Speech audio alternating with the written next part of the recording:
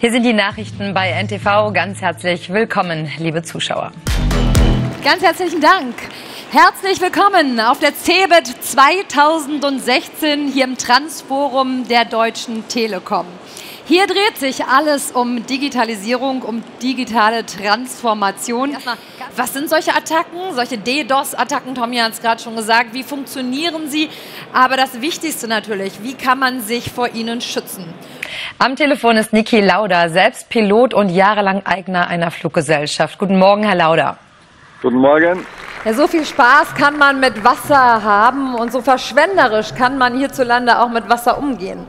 Das ist nicht überall auf der Welt so. Es gibt Regionen, in denen Wasser und gerade das Trinkwasser immer mal wieder knapp wird. Teilweise muss es sogar rationiert werden. Umso sorgfältiger und liebevoller sollte man. Christoph hat es gerade schon angesprochen. Energiewende, ein Riesenthema, ein Jahrhundert. Und wir machen nahtlos weiter mit unserem nächsten Talk. Wir werden das Thema Cloud noch ein bisschen vertiefen. Wir haben es ja eben schon einige Male angesprochen. Cloud ist ja im Grunde genommen ja das Rückgrat der Digitalisierung und genau das Thema, was ein paar Tage haben Sie noch zum Üben. Der FC Bayern hat heute bestätigt, was schon lange als Gerücht durch die Medien geisterte. Trainer Pep Guardiola wird im Sommer gehen.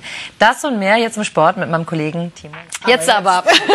jetzt bist du Von dran. diesen frostigen Temperaturen auf nach Las Vegas, nicht um das zu Manipulation betreiben würden und mir nur noch Herrensocken empfehlen könnten oder so. Das würde vielleicht mein Shoppingverhalten ein bisschen entspannen. Ja. Oder auch vielleicht bei der Familie von Herrn Rickmann werde werd das nicht tun. Nein, natürlich wird sich das verändern. Was bedeutet Digitalisierung ganz konkret für Ihre Kunden? Also Mobilität. Jetzt hat man sich vielleicht dazu entschieden, ja, wir machen das. Wie unterstützen Sie Ihre Kunden und vielleicht auch mal wieder konkret den Mittelstand bei diesem Vorhaben? Danke mich ganz herzlich natürlich bei Oliver Bäte, dass er hier war und bei Tim Höttges. Herzlichen Dank. Danke Ihnen auch. Vielen Dank. Vielen Dank fürs Zuhören. Vielen Dank.